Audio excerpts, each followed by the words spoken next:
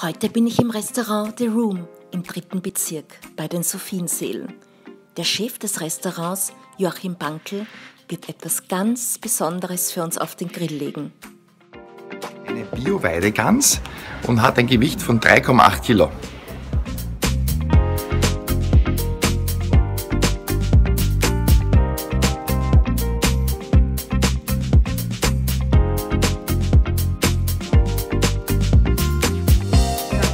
Das ist jetzt die Abtropftasse, die kommt ganz unten neben der Kohle am Boden stehend platziert. Extrem wichtig ist, dass die Gans eine gute Temperatur hat, also wir sagen der Zimmertemperatur, so 20, 21, 22 Grad herum. Wir haben hier 3,8 Kilo, wie schon vorher erwähnt, also werden wir hier auf vier Stunden gehen. Man rechnet circa pro Kilogramm eine Stunde bei circa 180 Grad. Gefüllt wird die Gans heute bei uns mit Maronis, Äpfeln, Orangen und zwei speziellen Gewürzen aus dem Roomgarten. Und die Gewürze ist natürlich ein bisschen ein Roomgeheimnis. Sagen wir nicht weiter.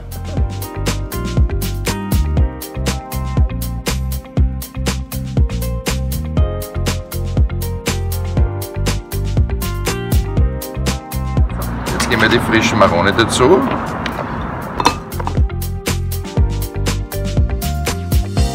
Mein Küchenteam hatte gewusst, dass heute der Chef höchstpersönlich hier im Room kocht und natürlich haben sie schon die Innereien entfernt und haben natürlich die ganze Gans sauber gewaschen und geputzt. Innen wird natürlich die Gans mit unserem Room Spezialgewürz noch eingerieben. Bevor unsere Gans am Grill kommt, kommt das Schwierigste. Sie wird jetzt von mir gefüllt. Als erster bin ich mal hinten zu, da gar nichts mehr rausfallen kann. Aber ich jetzt tue auch noch die Haxel nach oben binden.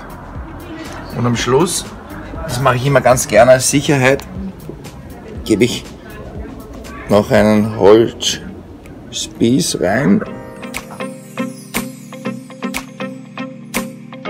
Stellen wir die ganz schön auf unseren Grill. Der hat jetzt knapp über 180 Grad im Moment entweicht natürlich die Temperatur. Wir werden es dann wieder schließen und die Temperatur halten, indem wir auch immer wieder Kohle nachlegen.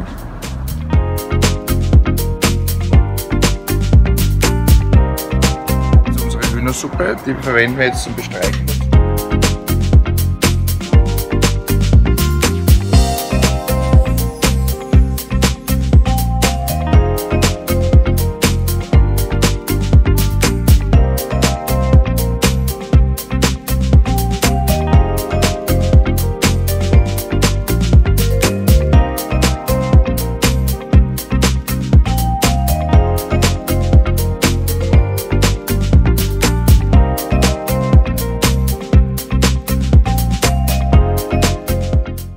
Grillen hat viel Spaß gemacht.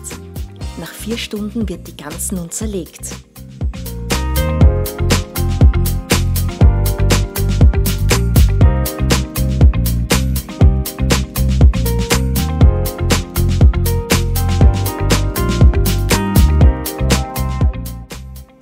Wie ihr gesehen habt, es ist ganz einfach, eine Gans am Grill zu machen.